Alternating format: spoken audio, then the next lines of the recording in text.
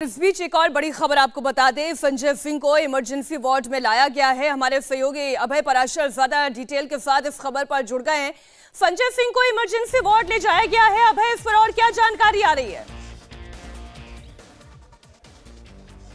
देखिए, बिल्कुल मीनाक्षी, संजय सिंह को 24 घंटे के लिए आईएलबीएस जो अस्पताल है, यहाँ पर लाया गया था, लंग्स का ये हॉस्पिटल है, और यहाँ पर अब से थोड़ी देर पहले सामने हॉस्पिटल के अंदर उनका इलाज चल रहा था, यहाँ पर वो पहले भी अपने चेकअप के लिए आते रहे हैं। उनको लीवर का उनका चेकअप होता है, यहाँ पर आते रहे हैं और अभी अभी उन्हें ये जो इमरजेंसी आप वार्ड देख रहे हैं इमरजेंसी वार्ड में अभी अभी संजय सिंह को व्हील चेयर पर बैठाकर लेकर आया गया है और यहाँ पर इमरजेंसी के अंदर अभी संजय सिंह का मेडिकल हो रहा है। क्योंकि आज लगभग 12 बजे के आसपास की जानकारी दी गई है कि संजय सिंह को अस्पताल से डिस्चार्ज कर दिया जाएगा। डॉक्टर राउंड पर आएँगे और राउंड पर आने के बाद डॉक्टर्स ने उनका जब चेकअप किया तो जेल जाने से पहले, क्योंकि एक ये रूल है कि किसी भी कैदी को जब जेल ले जाया जाता है तो उससे पहले उसकी कैसी आ, कैसा उसका स्वास्थ्य है डॉक्टर्स उसके कैरे कैसे पैरामीटर्स जो हैं वो यहाँ पर उसका मेज़रमेंट करेंगे। तो इमरजेंसी के अंदर फ़िलहाल संजय सिंह का मेडिकल कराया जा रहा है और बाहर ही आप तस्वीर देख लीजिए बाहर जो है जेल वैन खड़ी हुई है। जैसे ही संजय सिंह को डिस्चार्ज किया जाएगा मेडिकल पेपर जो है वो रेडी हो जाएँगे। जब ये सुनिश्चित कर लिया जाएगा जो जेल अथॉरिटी के लोग यहाँ पर पहुँचे हुए हैं क्योंकि कस्टडी में संजय सिंह है जब ये बिल्कुल कंफर्म हो जाएगा कि वो मेडिकली फिट है उसके बाद ही उस मेडिकल रिपोर्ट के बाद संजय सिंह को इस जेल वैन में बैठाया जाएगा और यहाँ से सीधा तिहाड़ जेल ले जाया जाएगा।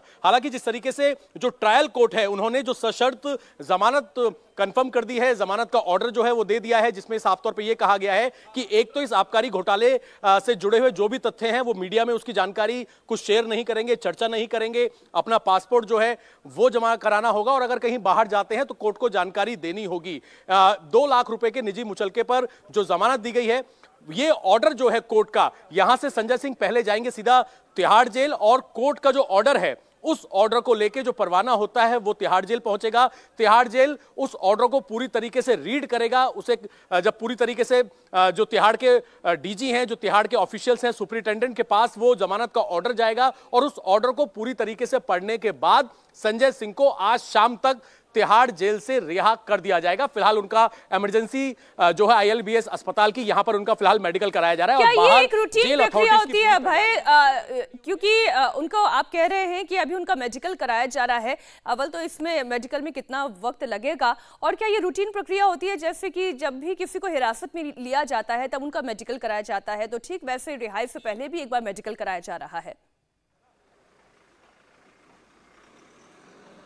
देखिए, बिल्कुल मीनाक्षी, ये एक रूटीन प्रक्रिया है। जैसे ही किसी भी कैदी को जब गिरफ़्तार किया जाता है किसी आरोपी को तो गिरफ़्तार करने के बाद भी कोर्ट लाने से पहले, और अगर जमानत हो गई है, क्योंकि जमानत हो गई है, लेकिन फ़िलहाल वो कस्टडी में है, तिहाड़ जेल के पास अभी कोई ऑर्डर नहीं पहुँचा है, क्योंकि अभी अभी सेशन कोर्ट ने ये ऑर्डर दिया है।